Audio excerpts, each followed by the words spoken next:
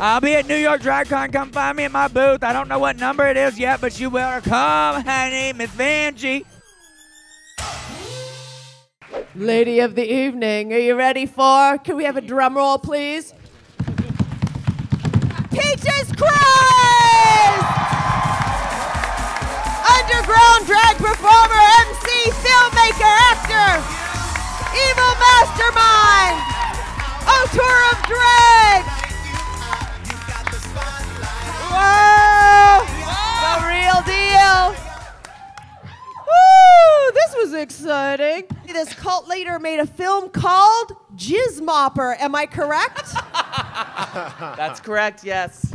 What the hell was that about? It's about a man who works in a porno shop, and he's the custodian there. And um, yeah, he mops up jizz for a living. that, that was my first film. Peaches, what's the casting process of this? Do people come to your door, your Chesterfield, your couch? How do you, do you just go to them? Uh, well, I am um, usually looking uh, for people that inspire me. There's a great queen who you may have heard of named Lady Bear, uh, who started performing in San Francisco, and I would watch her and I'd be like, I love Lady Bear. Like, what, what could I create for Lady Bear? And so I, I, I tend to love the queen first and then kind of want to work with them and, and am inspired by them and then kind of think of an idea. Chad, what have you done differently to prepare for this t- particular kind of show as opposed to your, your Cher shows? Well, uh, The Witches of East Bay was a major departure for me. So, Right. yeah, it was a real stretch, ladies and gentlemen. No, I don't know. I just like grabbed it by the balls. I mean, for me, yeah, thanks. Help the help. You got to her. manhandle it. I'm telling you, you got a firm grip, sweetie. Uh, no, you know what? I was just so excited about it. I don't know what I did to. I watched the movie a couple times just to brush up on it. But I mean, for me, I was so excited to work with Peaches. You know, he's legendary, and and I just have total trust in him. So I just kind of I put my my faith in him and just let it happen and and and just put the work in. You know, we, we went- I, I learned my lines. That's really what I did. I learned my lines. How'd you do, darling, sweetie? No, um, but yeah, just learn the lines and and go to have fun. Really, we had a blast. Can I say something about that? Yeah. Okay. So Chad and Coco showed up in San Francisco, and the Witches of East Bay uh, was what it was called there, and then it was the Witches of East Village in New York. But in San Francisco, we're a lot more bohemian and kind of loosey goosey. And so, like myself and Peggy Legs and the other performers were kind of reading the script for the first time at our first rehearsal, and Coco Peru and Chad Michaels were off book.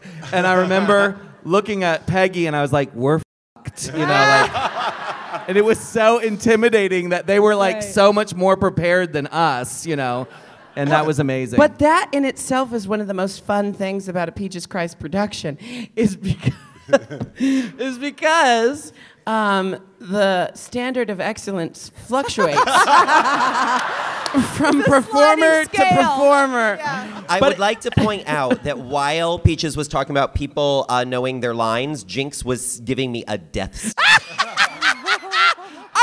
I. I just happened to glance over. for It was a long unrelated. time. No, it, it's like this. Um, the best thing about doing drag parody is that, like, kind of everything is part of it. Everything that happens from the moment you, the audience, walks into the theater to the moment that we're taking our bows is a part of the experience. That means every mistake, because let's face it, like, drag queens have grandiose views of what's going to happen when they put on their drag show. They work for months and months and months to put on their 13 minute wicked mashup that they And when I go like this, the broom is going to lower from the ceiling into my hand. And then what happens the night of is like everything goes wrong and the true queens stick it out and find a way to make it entertaining even though everything's falling apart. And I have never once been in a Peaches Christ production where something hasn't gone wrong and someone has not excelled from that mistake. Like someone turns that mistake into comedy gold that the audience is then tweeting about for the next three Right, well, weeks. that's- and I'm like, retweet, retweet, retweet. Now, Coco, you're a trained uh, professional. Well, I actually went to see you guys in the Grey Garden show and went up to Peaches and said, you know, I'd love to be in one of your shows. So, because I've been doing my own shows for 27 years and it's kind of lonely in a way. And I thought, longer than you've been alive, is that what you're trying to say? I was, Um, I was two when you Uh, started. I two, was- okay. She but was al- three. but already a exaggerate. tattoo. But um, Uh, there was a toilet scene, Ben, that you wanted to take out of one of the shows that was left in. How did you negotiate keeping it in? keeping it in. You were. uh, Is that is that not right? Yeah, no, that is was at the absolutely right. I forgot that I was so uh, I was in uh, five to nine inches. Right. Uh, as well. What's that? Nine to five inches. Sorry, the nuance of these puns can be overwhelming. Um, but I, uh, yeah, so I got to play just when it came through Seattle and Portland. I was the Roz character, Right. and uh, and Peaches had written in this very extended scene. There's a scene when Roz is in the uh, bathroom stall and she's like listening in to the the plot, and um, so Peaches had written in a scene where I basically had diarrhea for like seven minutes, um, and it we was needed a costume change. Yeah. No. That's what was happening. And what better way to fill out that time Right. than with extended splattery fart noises? But you didn't. You didn't want to keep it in though. Well, I thought I had standards, but I at that point had had a couple of shows with Peaches, and I've learned otherwise. And um, and so uh, yeah, no, but that that's it's the same thing Coco was saying. I'm I am actually a total control freak when it comes to my own shows. Um, so it's actually it's that thing where you're just like, all right, I'm just gonna be in Peach's vision, and if her vision includes explosive diarrhea, so be it. Uh, so has anything happened on stage with the four of you uh, during one of Peach's shows? Your costume, improv lines, BenDeLaCreme. Well. Yep.